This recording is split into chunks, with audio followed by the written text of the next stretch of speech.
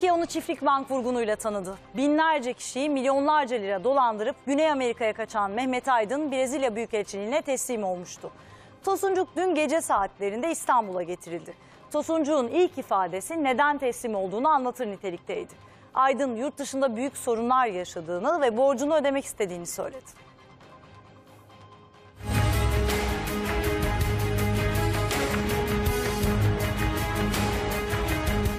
Mehmet Aydın kameraların karşısında 19 Mart 2018 tarihinden itibaren kırmızı bültenle aranan Mehmet Aydın artık İstanbul'da. Neden kaçtınız? Bir şey söyleyecek misiniz?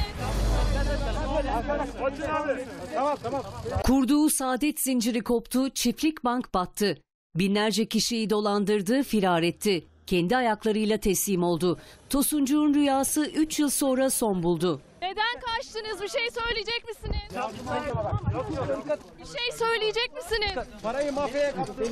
132 bin kişiyi dolandırdıktan sonra yurt dışına kaçan Mehmet Aydın'ı polis yaklaşık 14 saatlik yolculuğun ardından Türkiye'ye getirdi. 1 Temmuz'da Türkiye'nin Brezilya'daki konsolosluğuna teslim olmuş. Ardından bugün 09.50 uçağıyla Türkiye'ye hareket etmişti ve saatler 22.03'ü gösterdiğinde Mehmet Aydın'ın uçağı havalimanı İstanbul Havalimanı'na inmişti ve Mehmet Aydın şimdi hemen havalimanı içerisinde yer alan Mülki İdari Amirliğine getirildi. Tosuncuk lakaplı Mehmet Aydın İstanbul Havalimanı'nda gözaltına alındı. Ardından pasaport işlemleri yapıldı. Mehmet Aydın İstanbul Havalimanı'na iner inmez hemen havalimanı içerisindeki işte bu binada sağlık kontrolünden geçirildi.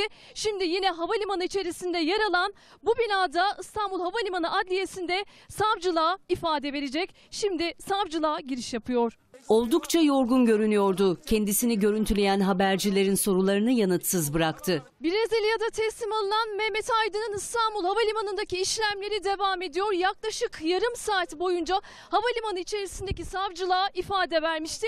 İşte o ifadesinin ardından havalimanında bu kez havalimanı şube müdürlüğüne götürülüyor. Ne söyleyeceksiniz? Pişman mısın? Pişman mısın? Neden kaçtınız? Bir şey söyleyecek misiniz? Aydın daha sonra İstanbul Emniyet Müdürlüğü Mali Suçlarla Mücadele Şube Müdürlüğü'ne götürüldü. Çiftlik Bank kurucusu Aydın hakkında 4 gün ek gözaltı süresi verildi. Gece boyunca nezarethanede dinlendi. İfade işlemleri ise sabah saatlerinde başladı. Mehmet Aydın'ın ilk ifadesi de neden teslim olduğunu ortaya koydu. Ailesinde sorunlar yaşadığını öne süren Aydın, yurt dışında çevresine büyük zorluklar çıkarıldığını öne sürdü. Tosuncuk borcu kadar alacakları da olduğunu, borcunun büyük bir bölümünü ödediğini iddia etti. Mehmet Aydın'ın Brezilya'dan gelirken yanında şirketiyle ilgili belgelerin dışında alacaklıların bulunduğu bir listede getirdiği öğrenildi.